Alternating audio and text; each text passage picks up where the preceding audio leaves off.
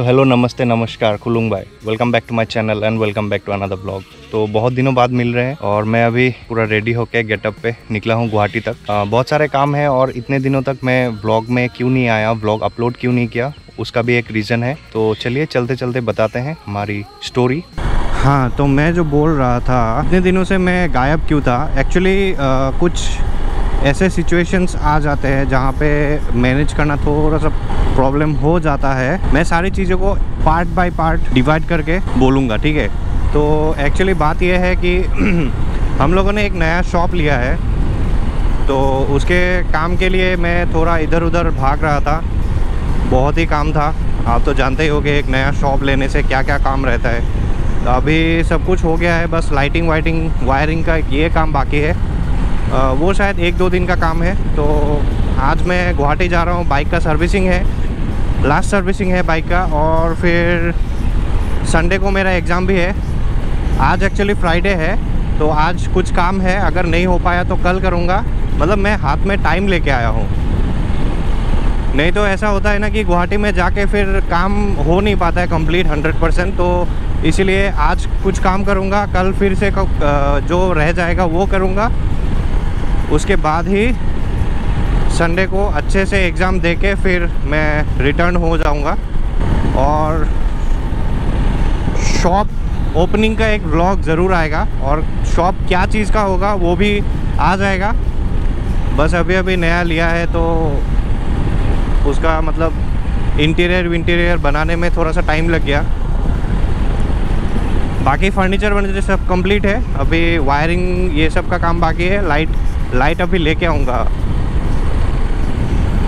देखो, दो चीज़ हो सकता है। या तो मैं लाइट देख के, ख़रीद के वहाँ पे शॉप पे रख के आऊँगा और एक दिन जाऊँगा, जाके लेके आऊँगा। क्योंकि अभी बैग में लेके नहीं आ पाऊँगा, इतना बड़ा बड़ा लाइट सब। क्योंकि मुझे एग्ज़ाम भी देने जाना है तो इसीलिए शायद मैं नेक्स्ट डे और फिर से जा सकता हूँ। और तब मैं बाइक पे नहीं जाऊँगा ट्रेन पे जाऊँगा शायद। खैर, देखते हैं, जो भी होगा, आपको तो पता चलेगा ही। और शायद अभी से ब्लॉग भी आएगा, एक दो करके। हालाँकि मैं डेली ब्लॉगर तो नहीं हूँ और डेली ब्लॉग्स आएँगे भी नहीं, फिर भी। चलो, अभी पेट्रोल भर लेते हैं। बाइक में पेट्रोल थोड़ा कम है, यहाँ से फुल टैंक करके फिर निकलूँगा गुवाहाटी।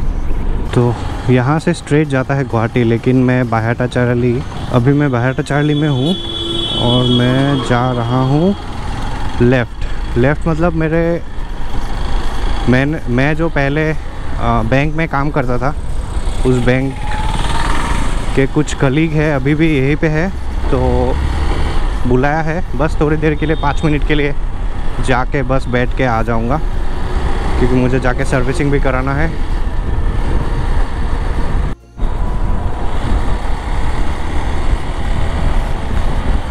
देखो भाई, अभी ऊपर देखो, मौसम कैसा हो रहा है। मुझे लगता है बारिश आने वाली है।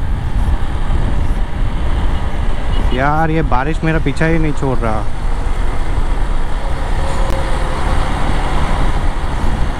सुबह को जब घर से निकला था ना, इतना मौसम कितना सुंदर सा था। पता नहीं अभी, और यहाँ पे गुवाहाटी पे तो प्रॉब्लम है ही, बारिश होने से फ्लड हो जाता है। भाई, मैं बारिश में फंस ना जाऊँ।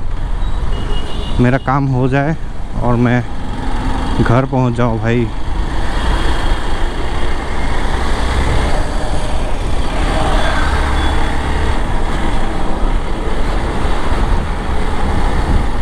सो so, भाई लोग रीच्ड गुवाहाटी। भी मुझे जाना है लेफ़्ट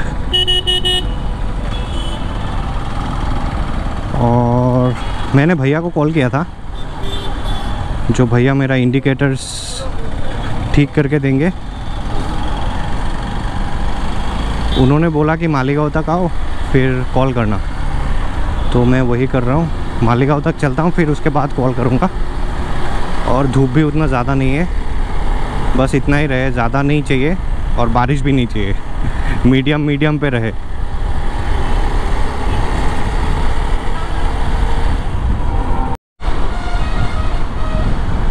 तो भाई साहब, बाइक का सर्विसिंग हो चुका है। हालाँकि पूरा दिन लग गया मेरा, क्योंकि ये इंडिकेटर जो है, बाद में जाके लास्ट में पता चला कि ये गलती एक्चुअली फ्लैशर का है, जो कि फ्लैशर बार बार वो लाइन को काट रहा था। इंडिकेटर्स के लाइन को। तो फ्लैशर मैंने निकाल दिया है। अभी इंडिकेटर अच्छे से काम कर रहा है। बस। 24 hours later. तो भाई साहब ये नेक्स्ट डे है। आ, कल एक्चुअली क्या हुआ वहाँ पे ब्लॉगिंग करते करते गोप्रो का चार्ज ख़त्म हो गया था। फिर घर जाके वैसे भी कल बहुत ज़्यादा टायर्ड था तो कल उतना ब्लॉगिंग किया नहीं। उसके बाद अरे यार क्या हो गया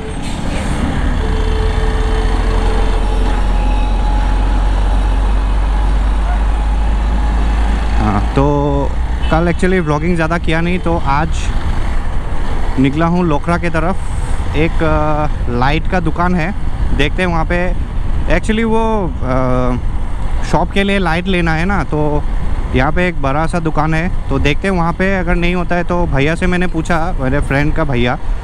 उन्होंने एक स्टूडियो बनाया बहुत ही मस्त। तो मुझे वो अ, क्या बोलते हैं उसको? जो फोकस लाइट होते हैं ना वो चाहिए। वो फोकस लाइट चाहिए तो देखते हैं अभी क्या प्राइस रेंज क्या होता है। वैसे भैया ने बताया कि वो लाखटो किया वहाँ पे मिलता है तो देखते हैं। अगर यहाँ पे भी होता है तो ठीक है, नहीं तो आज शाम को फिर से जाऊँगा वहाँ पे। तो एक साथ जाके देख लेंगे। With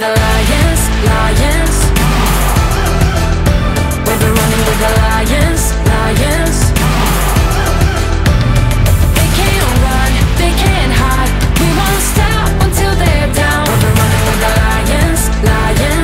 24 hours later.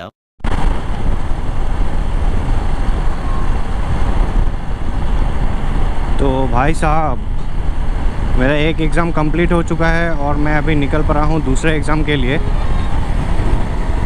तो दूसरा एग्ज़ाम है मंगलदेव में मंगलदेव विद्यापीठ वहाँ पे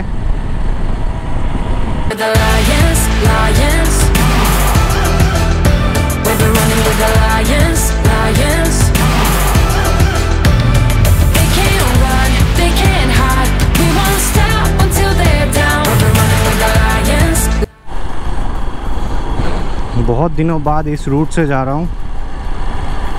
जब से वो गोरेसर वाला रोड अ, मतलब ठीक हो चुका है वहाँ से हमेशा मतलब वहाँ से ही जाता था। शॉर्टकट होता है गुवाहाटी तक। लेकिन अभी आज जाना पड़ रहा है क्योंकि मंगलदय में एग्ज़ाम है तो इसीलिए वाया मंगलदय होके जाऊँगा।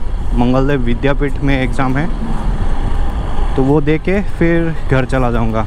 एग्ज़ाम ख़त्म होगा चार बजे, स्टार्ट होगा दो बजे। तो भाई साहब, मैं मंगलदे से निकल के, एग्ज़ाम दे के निकल के, अभी कालाईगाँव थोड़ी देर बाद पहुँचने ही वाला हूँ।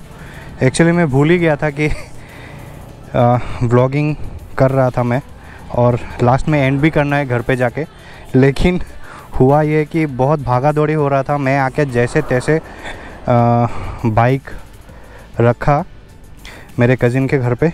उसके बाद मैं वहाँ से निकल गया, एग्ज़ाम देते मतलब एग्ज़ाम देने के लिए निकल गया, जल्दी जल्दी। और ये देखो, यहाँ पे जो रोड दिख रहा है ना, कंस्ट्रक्शन, ये एक्चुअली फ्लड हुआ था। इस तरफ़ इस तरफ़, दोनों तरफ़ फ्लड हुआ था। तो इसके वजह से बीच में से ये ऐसे टूट गया है भाई साहब।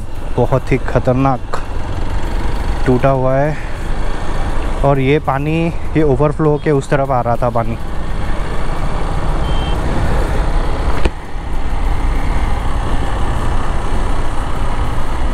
सनसेट मिल गया भाई साहब। हाँ बहुत ही टायर्ड दो एग्ज़ाम दे के आया हूँ ना।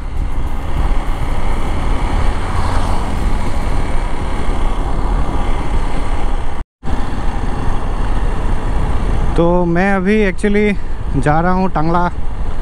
मतलब घर जाऊँगा, लेकिन टंगला पे थोड़ा टाइम रुकना होगा मुझे, क्योंकि पापा और मम्मी आए हुए हैं टंगला पे। और दुकान का एक्चुअली वो कुछ थोड़ा काम चल रहा था शायद, मुझे मालूम नहीं है। दो दिन से मैं हूँ नहीं यहाँ पे। ओ माय गॉड ये है रोड। टंगला मंगलदय का रोड। देखो भाई साहब। क्या रोड है, वाह। हेलो जी। फ़िलहाल पहुँच चुके हैं टंगला। अभी ढूंढते हैं कहाँ पे है मम्मी और पापा।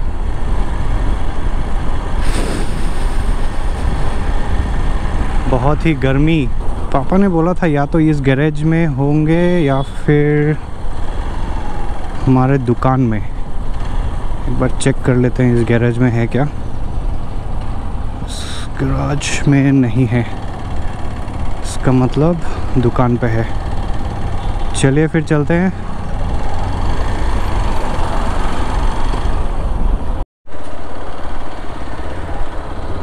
So here we are at Tangla town. We are leaving Tangla, going home. तो दुकान पे थोड़ा टाइम हम लोग थे, मैं और पापा।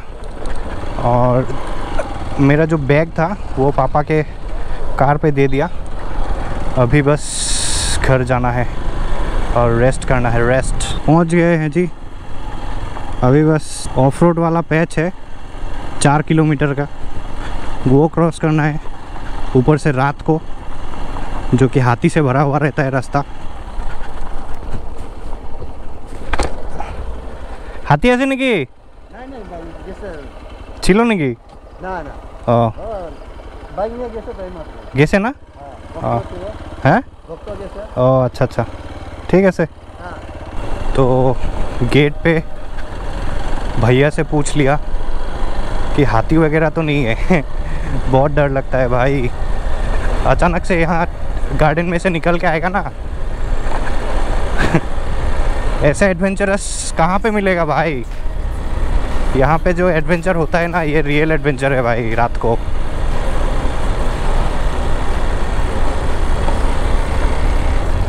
चलिए, आगे एक बाइक जा रहा है।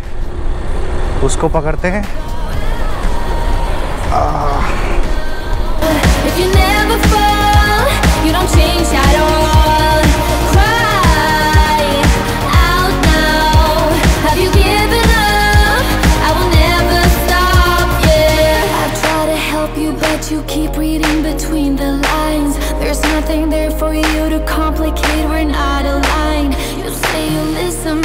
guessing that's just another sign. of growing up, you're growing old. Your life keep passing by.